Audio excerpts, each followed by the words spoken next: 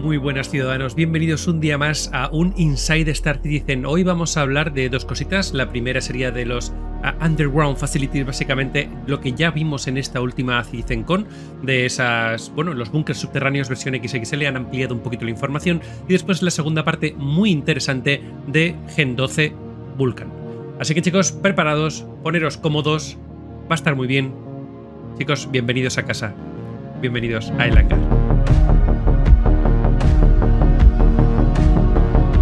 Empezamos este inside hablando entonces, bueno, pues eh, a la hora de crear estas eh, underground facilities, básicamente estos búnkeres subterráneos de tamaño grande que ya hemos hablado de ellos en la CitizenCon, eh, cuando empiezan a diseñarlo, esto no pueden empezar así a saco, tienen que ver una serie de factores, ¿no? ¿Cómo lo van a, planificar? ¿Cuántos van a hacer? ¿Qué tamaño van a tener? cuánto tiempo van a pasar los jugadores ahí dentro, qué es lo que van a hacer dentro y después también el tema, la temática de cada zona y los diseños, ¿no? Cada uno de, estas bueno, maneras de desarrollar todo esto tiene una planificación muy estructurada que em, se hace en paquetes de contenido. Eh, de hecho, eso es lo que va a enseñar ahora mismo este señor. Tiene aquí en pantalla una serie de cuadraditos. Cada uno de estos cuadraditos representa una habitación y esa habitación te dice eh, cuánto le falta por terminar o cuánto le falta por avanzar y bueno, cada una de las mm, necesidades del momento. Esto les permite a ellos organizarse de manera que sean capaces de ver eh, en un simple vistazo el avance total de, todo lo que es el, desarrollo de la zona que están haciendo en ese momento.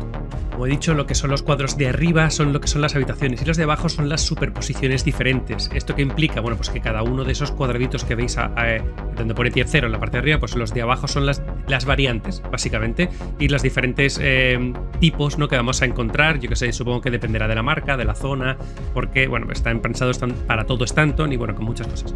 Aparte de esto, el tier 0 sería como para meterlo directamente en el juego de la manera más básica posible, pero como habéis visto está el tier 1, tier 2, es decir, que la cosa se va complicando. Aparte de esto, como podéis ver en pantalla ahora mismo, también eh, em, tienen la manera de, ver de un solo vistazo qué habitaciones están trabajando, eh, algunas de las eh, imágenes que tienen más actuales de ellas, por ejemplo, esa es la entrada superior de eh, por donde entras con la nave, ¿no? De, la parte exterior. Después aquí nos enseñan un poco algunas de las zonas interiores que como veis, pues te dice en el cuadradito no solo las imágenes, sino el tamaño, la cantidad de overlays que tiene, o sea, de superposiciones y toda la información que el equipo necesita para hacer el desarrollo de una manera, bueno, pues lo mejor posible. Claro, aquí la, el kit de la cuestión está en que ellos necesitan saber más o menos qué tiempo tardan en desarrollar todo esto. Así que pues se van a la vieja confiable y tiran de Excel, como todo el mundo, así que hacen sus pequeñas tablas, eh, más o menos tratando de ver, para ellos, esto es para ellos, no es para nosotros, tratando de ver cuánto tiempo van a tardar en crear cada una de las salas y todo eso, ¿no? Entonces, básicamente ellos eh, lo que han hecho es desgranar al máximo cuánto tiempo tardan en hacer una sala o cuánto tiempo tardan en, en aplicar un, overlay. Eh, esto lo ponen directamente en la tabla de Excel, también tienen en cuenta los equipos que son, también tienen en cuenta y van sumando horas y al final dice, bueno, pues para hacer eh, esta habitación completa con todos sus overlays, con todos los tamaños que tiene, con toda la información, pues sabemos que tardamos X horas y a partir de ahí, bueno, pues yo qué sé, pues te sale un, número de días estimado, porque no nos para de repetir una y otra vez que al fin y al cabo em, encontrarse dificultades es lo más normal. O sea, las cosas no se arreglan solas, es al revés, lo normal es que haya problemas, no, cosas mágicas. Así que eh, ya sabéis cómo va el desarrollo de Star Citizen. Se planea una cosa y después sale otra. Sale otra, me refiero, de, que se tarda más. En definitiva, no sé si os habéis fijado, pero eh, para terminar la primera parte les hace falta el tier 0 unos 6 meses aproximadamente y para tener todo terminado estiman que al menos 13 meses, o sea, un año y pico para que esté todos los estilos, todo tipo, todo terminado, terminado. También el número de gente que va a participar, que son eh, varios programadores, etc. Aquí se equivoca un poco y aparece este hombre así en plan de cachondeo. Bueno, la cuestión es que em, después de todo esto, lo definitivo es lo que ya he comentado. Esta es su estimación, están trabajando en ello, progresan adecuadamente. Eh, esta información me parece un poco floja. En realidad, si queréis saber más de esto, tenéis el vídeo de la CitizenCon. Y por último, que sabemos que ya tienen en producción eh, todo esto, ¿vale? Tienen 93 tipos de habitaciones diferentes, 196 variaciones y las vamos a encontrar este tipo de estaciones tanto en Stanton como en el sistema Pyro. Así que, Opiro, eh, ya sabéis, vamos a echarle mano pues en un tiempo. Empezamos entonces con la segunda parte más interesante y más complicada, así que habrá más cortes. Vale, lo primero es que si queréis estar al día de esto se habló mm, bastante más eh, en profundidad en un, la Citizen de hace dos años, creo, o tres. Os pondré el link en la parte de arriba. Eh, Gen 12 sería eh, la nueva API que quieren aplicar, que lo que, lo que hace es comunicar la CPU con la GPU y, hacer que se entiendan bien. y se llama así sobre todo porque tenemos DirectX 11, pues la siguiente, pues en la generación 12, Gen 12, así es como lo han querido poner. La cuestión, para que nos entendamos, es que eh, la velocidad o lo bonito, los FPS con lo que se ve el juego depende directamente de eh, eh, la CPU, es del, microprocesador, y de la API que, que lo controla. Entonces, la implementación de Vulkan va de que con menos atención de la CPU, menos eh, reclama su atención menos veces, por lo tanto eh, la sobrecarga menos, es capaz de alcanzar lo mismo o más eh, que, de la otra manera, de lo legacy, de lo antiguo, que es lo que tenemos ahora mismo. Bueno, de lo que tenemos ahora mismo a medias, porque en realidad ahora mismo tenemos un sistema mixto, pero bueno, ahora entramos con eso. La cuestión de todo esto es que, eh, ¿qué vamos a conseguir? El aumento de la escala de la, IA, vamos a conseguir una mejoría en, el ray tracing, una mejoría, ray tracing, eh, renderizado de vistas múltiples en realidad virtual, ojito, y compatibilidad con Linux. Vale, eso es una, serie de cosas que la idea, ¿no? Es que es lo que planteamos o se plantea alcanzar, incluyendo ya eh, Vulkan como la API que controlaría todo esto.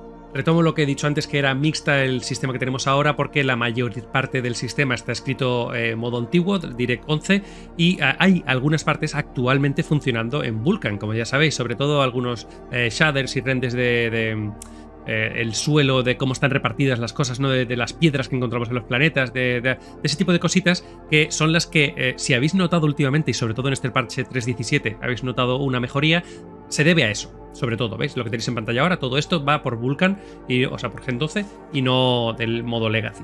La cuestión de todo esto es em, que todo el código está escrito en, antiguo, en Legacy, en Direct 11, y hay que reescribirlo al completo. Es un trabajo de locos y por eso llevan tantísimo tiempo haciéndolo la parte buena, están a punto de terminar, a punto entre comillas.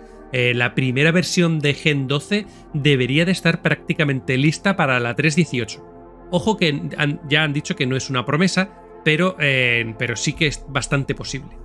En cualquier caso, cuando todo esto se implemente, lo primero es que notaremos eh, una versión eh, con una mejora de rendimiento y más tarde eh, seguirán implementando cosas. O sea, el esto es como todo. Tier 0 será algo que funciona, que va a ir bien, que lo vamos a notar y después añadirán cosas. Un trabajo, dice que el límite es lo que es el cielo, ¿no? Lo típico. El límite sky.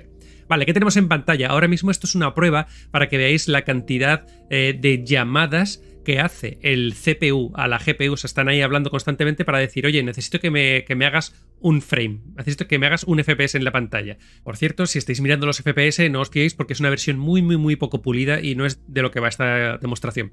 De lo que quiere tratar de enseñar es eso, es la cantidad de llamadas que hace con una versión y con otra. Básicamente, si sois capaces de ver el numerito, en hay una diferencia prácticamente de un 33%, un tercio de, mejoría. Eh, mientras que una versión ya utiliza 47.000, estoy hablando de memoria, no me recuerdo, 47.000, 45.000 llamadas, la otra se queda en 33.000 o 35.000. O sea, estamos hablando que em, haciendo el mismo dibujo, el procesador tiene que hablar eh, no sé, 20.000 veces menos o 15.000 veces menos que eh, usando el modo legacy. Por lo tanto, o sea, Parece que no, pero cada uno, cada frame, eh, todo ese número de llamadas es, una brutalidad. Después lo que tenemos en pantalla también ahora mismo es, es una manera más técnica de, decir lo mismo. Vale, en este programa lo que tratan de enseñarnos es básicamente eh, cómo funciona el thread principal, eh, que es el que orquesta el funcionamiento de, de cada frame, ¿no? De qué es lo que hace, cuando se cargan las físicas, cuando se carga el mapa, cuando se carga el 3D, eso por una parte, y después por otra parte el thread del rendering, ¿vale? Lo que tenemos ahora mismo en pantalla es esta zona que está marcando, es un FPS, es un frame, es una imagen de las de los 60 o 144 FPS que quieres en tu ordenador, pues esto es uno, ¿no? Y esto es eh, el cálculo que hace constantemente cada, cada milisegundo o cada segundo el, el, lo que es el CPU. Vale, pues ahí está orquestando cuando dice, bueno, ¿cuándo se carga la física? ¿Cuándo cargamos la imagen? ¿Cuándo cargamos la red de malla de no sé qué? ¿Cuándo Vale, y es durante ese espacio de tiempo. Y justo abajo, en azul, eh, tenemos eh, en, otro hilo diferente debido a la enorme carga de trabajo que tiene el renderizado eh, de, la imagen. ¿Qué es lo que se puede ver? Pues ah, mirando los numeritos, ahora pasa el ratón por encima y por abajo, vemos que el renderizado de la imagen sobrepasa el tiempo de carga del de, lo que es el main thread. Lo que implica es que, digamos que estamos retrasando, estamos haciendo un cuello de botella o directamente estamos perdiendo FPS porque el, tiempo establecido por el main thread eh, es superado, ¿vale? Entonces, pues, ¿cómo se podría mejorar eso? Pues haciendo que, ese dibujo o que ese sea más pequeño, ¿vale? Esa es la teoría. Bien, ahora lo que nos falta ver es eh, cómo funcionaría o cómo funciona la API de Vulkan, ¿no? Hasta ahora hemos visto, en resumen, que el, main thread, que es el que manda y el que orquesta, tiene que esperar a, dar el a, bueno, a que termine eh, el tema de los gráficos. Lo cual, bueno, pues es lo que genera esos. Eh, esa falta de, FPS. Vale, el que tenemos en pantalla ahora mismo es un, un frame de Vulkan o de Gen 12. Vale, lo que, aquí lo que más nos tiene que llamar la atención es que, eh, si os fijáis en la parte azul de abajo, em, al final del todo hay un cuadrado rojo. Eso implica que eh, esta parte es la que tiene que esperar. La parte gráfica tiene que esperar a la decisión del main thread es el que gestiona y orquesta todo. Por lo tanto, ¿qué implica? Que la, parte gráfica se termina mucho antes. A lo mejor estamos hablando de entre 15 eh, y 20 milisegundos antes en cada uno de los FPS. Ahora está haciendo esto más pequeño en cada una de las imágenes para que veáis que en todas las imágenes el, renderizado gráfico es más rápido que, todo lo demás. ¿Qué implica esto? Mejoras entre el 50 y el 100% eh, en cuanto a la velocidad de los FPS. O sea, la leche. Por último, desean recordarnos que, bueno, estas pruebas son pruebas internas que funcionan bien y que están probadas, pero que son pruebas internas que podría variar dependiendo del hardware que uses en tu ordenador, dependiendo de una serie de factores. Bueno, eh, en que incluso que esto está sin pulir, que podría ser incluso mejor una vez que esté ya publicado. Lo cual, bueno, pues es interesante. Por último, ¿cuál es el futuro? Bueno, pues eh, una vez que ya Vulkan esté implementado para la 3.18, presumiblemente, ojito, muy interesante, eh, eso significa diciembre, que está ahí al lado, eh, estamos hablando de que quieren implementar con el paso del tiempo el render thread, sus procesos múltiples completos, computación asíncrona, etcétera, sea lo que sea, lo que signifique eso. Y con esto, damas y caballeros, hemos terminado el vídeo. Espero que os haya parecido interesante. A mí me lo ha parecido. Eh, creo que se va a notar mucho la mejoría en estabilidad. ya no sé si estabilidad, pero sí velocidad de FPS y jugabilidad, en definitiva, de Star Citizen. Me ha gustado mucho. Tengo muchas ganas de verlo in-game. Eh, ya está, chicos. Si os ha gustado el vídeo, ya sabéis, like, comentario, suscribiros si no estáis suscritos a El Hangar, a estar al día de las noticias de Star Citizen. Nos vemos el 5 de noviembre en el Bar Citizen en Madrid, eh, aunque antes en algún vídeo que haga. Así que, chicos, un saludo. Chao.